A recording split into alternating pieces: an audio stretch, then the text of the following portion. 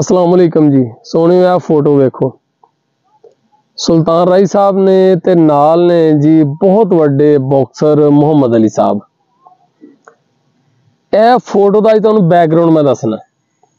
ਕਿ ਇਹਦੀ ਕਹਾਣੀ ਪਿੱਛੇ ਕੀ ਹੈ ਇਸ ਫੋਟੋ ਦੇ ਪਿੱਛੇ ਅਸਲ 'ਚ ਕਹਾਣੀ ਕੀ ਹੈ ਕਿੱਥੇ ਫੋਟੋ ਲਈ ਗਈ? ਕਿਉਂ ਲਈ ਗਈ? ਮੈਂ ਦਾਅਵੇ ਨਾਲ ਕਹਿਣਾ ਕਿ ਤੁਹਾਨੂੰ ਪਹਿਲੇ ਕਿਸੇ ਨੇ ਅੱਜ ਤੱਕ ਅਸਲ ਜਿਹੜੀ ਪਿੱਛੇ ਦੀ ਕਹਾਣੀ ਹੈ ਨਾ, ਇਸ ਫੋਟੋ ਦੀ, ਉਹ ਨਹੀਂ ਦੱਸੀ ਹੁਣ। ਇਹ ਫੋਟੋ ਸੁਲਤਾਨ ਰਾਈ ਸਾਹਿਬ ਦੇ ਘਰ ਹੋਣ ਵੀ ਲੱਗੀ ਹੈ। ਜਿੱਥੇ ਰਾਈ ਸਾਹਿਬ ਦਾ ਬਹੁਤ ਵੱਡਾ ਨਾਂ ਹੋਇਆ ਹੈ ਨਾ, ਬਹੁਤ ਵੱਡਾ ਨਾਂ ਹੋਇਆ ਹੈ।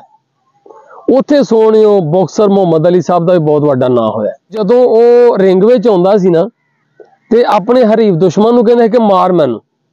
ਯਾਨੀ ਉਹਨੂੰ ਆਖਣਾ ਮਾਰ ਮੈਨੂੰ। ਜਦੋਂ ਉਹਨੇ ਮਾਰ ਮਾਰ ਹਫ ਜਾਣਾ, ਫਿਰ ਇਹਨੇ ਸ਼ੁਰੂ ਹੋਣਾ ਬਸ ਚੰਦ ਪੰਜ ਮਾਰਨੇ ਤੇ ਭੁਆ ਕੇ ਪਰਾਂ ਮਾਰਨਾ ਇਸ ਬੰਦੇ ਨੇ। ਲੇਕਿਨ ਮਾਰ ਖਾਣੀ, ਮਾਰਨਾ ਕੁਝ ਹੋਰ ਗੱਲ ਹੁੰਦੀ ਹੈ ਮਾਰ ਸਹਿਣੀ, ਬਰਦਾਸ਼ਤ ਕਰਨੀ, ਇਹ ਬੜੀ ਵੱਡੀ ਗੱਲ ਹੁੰਦੀ ਹੈ ਹੈ, ਕੋਈ ਜਣਾ ਹੀ ਹੁੰਦਾ ਨਾ ਜਿਹੜਾ ਕਿਸੇ ਦੀ ਮਾਰ ਨੂੰ ਸਹਿ ਜਾਂਦਾ, ਝੱਲ ਲੈਂਦਾ। ਅੱਛਾ ਸੋਹਣਿਓ ਜਦੋਂ ਇਹਦਾ ਅਰੂਜ ਦਾ ਦੌਰ ਸੀ ਨਾ, ਤੇ ਸੁਲਤਾਨ ਰਾਈ ਸਾਹਿਬ ਦਾ ਵੀ ਅਰੂਜ ਦਾ ਦੌਰ ਸੀ। ਰਾਈ ਸਾਹਿਬ ਦਾ ਅਮਰੀਕਾ ਵਿੱਚ ਘਰ ਉਹਨਾਂ ਦੇ ਬੱਚੇ ਸਾਰੇ ਉੱਥੇ ਤੁਹਾਨੂੰ ਪਤਾ ਰਹਿੰਦੇ, ਇਹਨਾਂ ਲਿਆ ਸੀ।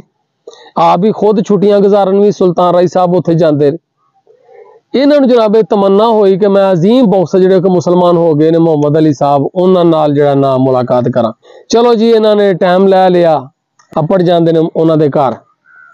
ਜਦੋਂ ਘਰ ਪੜਦੇ ਨੇ ਤੇ ਨਾਲ ਆਪਣੀਆਂ ਪੁਰਾਣੀਆਂ ਫਿਲਮਾਂ ਜਿਹੜੀਆਂ ਨੇ, ਉਹ ਵੀਸੀਆਰ ਦਾ ਦੌਰ ਸੀ, ਉਹ ਨਾਲ ਲੈ ਕੇ ਗਏ।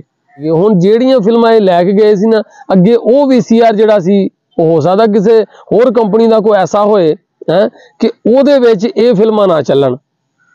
ਅਸਲ ਜੇ ਤੇ ਲੈ ਗਏ ਮੈਂ ਮੈਂ ਵਿਖਾਵਾਂਗਾ ਕਿ ਮੈਂ ਵੇਖੋ ਪੰਜਾਬ ਦੀ ਧਰਤੀ ਦਾ, ਪਾਕਿਸਤਾਨ ਦਾ, ਮੈਂ ਪੰਜਾਬੀ ਫਿਲਮਾਂ ਦਾ ਬਹੁਤ ਵੱਡਾ ਐਕਟਰ ਹਾਂ।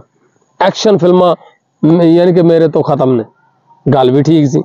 ਚਲੋ ਜੀ, ਇਹਨਾਂ ਦੀਆਂ ਫਿਲਮਾਂ ਉਹਨਾਂ ਦੇ ਵੀਸੀਆਰ ਵਿੱਚ ਕੋਈ ਨਾ ਚੱਲੀਆਂ। ਫਿਰ ਕੀ ਹੋਇਆ ਕਿ ਉਹਨਾਂ ਨੇ ਆਪਣੇ ਕਿਸੇ ਬੰਦੇ ਨੂੰ ਆਖਿਆ ਕਿ, ਮੁਲਾਜ਼ਮ ਨੂੰ ਆਖਿਆ ਕਿ ਜਾ ਯਾਰ ਹੋਰ ਕੋਈ ਵੀਸੀਆਰ ਲੈ ਗਿਆ ਉਹ ਖਰ ਦੂਜਾ ਕੋਈ ਲੈ ਕੇ ਆਇਆ ਤਾਂ ਉਹਦੇ ਵਿੱਚ ਸੁਲਤਾਨ ਰਾਈ ਦੀਆਂ ਫਿਲਮਾਂ ਫਿਰ ਚੱਲੀਆਂ। ਜਿੱਥੋਂ ਉਹਨਾਂ ਨੇ ਵੇਖਿਆ, ਉਹਨਾਂ ਨੂੰ ਖਰ ਕੀ ਸਮਝ ਆਉਣੀ ਸੀ? ਉਹਨਾਂ ਦੀ ਬੋਲੀ ਹੋਰ ਸੀ। ਇਹ ਪੰਜਾਬੀ ਜ਼ਬਾਨ, ਉਹਨਾਂ ਨੂੰ ਕਿਹੜੀ ਪੰਜਾਬੀ ਆਉਂਦੀ ਸੀ, ਉਰਦੂ ਆਉਂਦੀ ਸੀ। ਖੈਰ ਉਹਨਾਂ ਨੇ ਕੋਈ ਐਕਸ਼ਨ ਉਕਸ਼ਨ ਵੇਖਿਆ। ਅੱਛਾ, ਹੁਣ ਇਹ ਤਸਵੀਰ ਵਾਲੇ ਪਾਸੇ ਆਉਂਦੇ ਆ। ਕਿ ਇਹ ਤਸਵੀਰ ਬਣਨ ਵਾਲਾ ਉਹ ਜਿਹੜਾ ਲਮਹਾ ਆਉਣ ਲੱਗਾ ਜੀ। ਮੁਹੰਮਦ ਅਲੀ ਨੇ ਆਖਿਆ, ਰਾਈ ਸਾਹਿਬ ਨੂੰ ਕਿ ਅੱਛਾ, ਇਸ ਤਰ੍ਹਾਂ ਕਰੋ, ਫਰਜ਼ ਕਰੋ ਕਿ ਮੈਂ ਤੁਹਾਡੇ ਘਰ ਆਉਣਾ ਵਾਂ ਤੇ ਤੁਸੀਂ ਮੈਨੂੰ ਆਪਣੇ ਘਰੋਂ ਕੱਢਣਾ ਬਾਹਰ ਕਿਸੇ ਤਰੀਕੇ। ਉਹ ਮੈਨੂੰ ਜਿਹੜਾ ਨਾ, ਉਹ ਐਕਟ ਕਰਕੇ ਵਿਖਾਓ। ਉੱਥੇ ਫਿਰ ਸੁਲਤਾਨ ਰਹੀ ਐਕਸ਼ਨ ਜਿਹੜੇ ਨਾ, ਉਹ ਭਰਮਾਰ ਸਮਝ ਲਓ ਕਰਦਾ ਕਿ ਐਕਟਿੰਗ ਕਰਦਾ ਉਸ ਬੰਦਾ ਜਿਹੜਾ ਕਸੋਨੇ ਨਾ ਉੱਥੇ ਫਿਰ ਉਹ ਸਾਰਾ ਕੁਝ ਜਿਹੜਾ ਵਿਖਾਇਆ ਗਿਆ ਹੈ। ਤੇ ਸੁਲਤਾਨ ਰਹੀ ਫਿਰ ਐਕਟਿੰਗ ਉੱਥੇ ਐਸੀ ਕਮਾਲ ਕਰਦਾ ਕਿ ਉਹ ਬੰਦੇ ਨੂੰ ਭਾ ਜਾਂਦਾ ਹੈ। ਪਸੰਦ ਆ ਜਾਂਦਾ ਹੈ।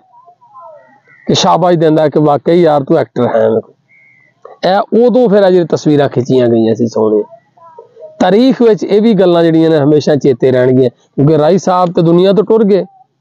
ਉਹਨਾਂ ਦੇ ਘਰ ਫਿਰ ਮੁਹੰਮਦ ਅਲੀ ਸਾਹਿਬ ਵੀ ਟੁਰ ਗਏ। ਰਾਈ ਸਾਹਿਬ ਦੇ ਘਰ ਫੋਟੋ ਅਜੇ ਵੀ ਲੱਗੀ ਹੈ।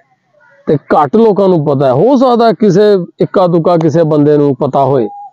ਲੇਕਿਨ ਘੱਟ ਲੋਕਾਂ ਨੂੰ ਪਤਾ ਹੈ ਕਿ ਇਹ ਫਿਲ ਇਹ ਜਿਹੜੀ ਫੋਟੋ ਹੈ, ਇਹਦੀ ਪਿੱਛੇ ਦੀ ਕਹਾਣੀ ਕੀ ਹੈ? ਇਹ ਜੀ ਅਸਲ ਕਹਾਣੀ ਜਿਹੜੀ ਤੁਹਾਡੇ ਸਾਹਮਣੇ ਅਸੀਂ ਰੱਖੀ ਹੁਣ ਇਸ ਕਹਾਣੀ ਨੂੰ ਆਪਣਾ ਮੈਨੂੰ ਦੱਸਿਆ ਫਿਲਮ ਹਿਸਟੋਰੀਅਨ ਨੇ ਸਾਡੇ ਇੱਕ ਬੜੇ ਪੜ੍ਹੇ ਲਿਖੇ ਜਨਾਬ ਬੜੇ ਪਿਆਰੇ ਮਿੱਤਰ ਨੇ ਸਾਡੇ, ਰਾਣਾ ਜ਼ਾਹਿਦ ਸਾਹਿਬ ਸਾਈਵਾਲ ਤੋਂ। ਉਹਨਾਂ ਨੇ ਮੇਰੇ ਨਾਲ ਇਹ ਕਹਾਣੀ ਸ਼ੇਅਰ ਕੀਤੀ ਕਿ ਇਸ ਤਰ੍ਹਾਂ ਜੱਟ ਸਾਹਿਬ ਹੈ ਜਿਹੜੀ ਇਹ ਨਾ ਫੋਟੋ ਇਹ ਖਿੱਚੀ ਗਈ ਸੀ। ਇਹਦੀ ਬੈਕਗ੍ਰਾਉਂਡ ਪਿੱਛੇ ਕਹਾਣੀ ਇਹ ਜੇ। ਮੈਂ ਕਿਹਾ ਯਾਰ ਕਮਾਲ ਚੀਜ਼ ਹੈ, ਇਹਦੇ ਤੇ ਤਾਂ ਗੱਲ ਹੋਣੀ ਚਾਹੀਦੀ ਹੈ ਤਾਂ ਕਿ ਜਿਨ੍ਹਾਂ ਲੋਕਾਂ ਨੂੰ ਨਹੀਂ ਪਤਾ ਉਹਨਾਂ ਨੂੰ ਪਤਾ ਲੱਗ ਸਕੇ ਕਿ ਇਹ ਫੋਟੋ ਕਿਸ ਤਰ੍ਹਾਂ ਖਿੱਚੀ ਗਈ ਕਿੱਥੇ ਖਿੱਚੀ ਗਈ। ਹੁਣ ਤੁਸੀਂ ਯਾਨੀ ਆਪਣੇ ਸੱਚੇ ਦਿਲ ਨਾਲ ਦ- ਦੱਸਣੀ ਹੈ ਗੱਲ ਕਮੈਂਟ ਸੈਕਸ਼ਨ ਵਿੱਚ ਕਿ ਆਇਆ ਤੁਹਾਨੂੰ ਇਸ ਗੱਲ ਦਾ ਪਹਿਲੇ ਪਤਾ ਸੀ ਜਾਂ ਨਹੀਂ ਸੀ ਪਤਾ ਜ਼ਰੂਰ ਲਿਖਿਓ। ਬਾਕੀ ਅੱਲਾਹ ਪਾਕ ਜੀ ਇਹ ਦੋਨੋਂ ਵੱਡੀਆਂ ਹਸਤੀਆਂ ਹੋਏ ਨੇ ਅਜ਼ੀਮ ਲੋਕ ਹੋਏ ਨੇ ਆਪਣੀ ਆਪਣੀ ਫੀਲਡ ਦੇ। ਅੱਲਾਹ ਪਾਕ ਇਹਨਾਂ ਦੋਨਾਂ ਦੇ ਜਹਾਨ ਜਿਹੜੇ ਨੇ ਅਗਲੇ ਉਹ ਬਿਹਤਰ ਕਰੇ ਜਨਤਾ ਨੂੰ ਸੋਹਣਾ ਕਰ ਦੇ।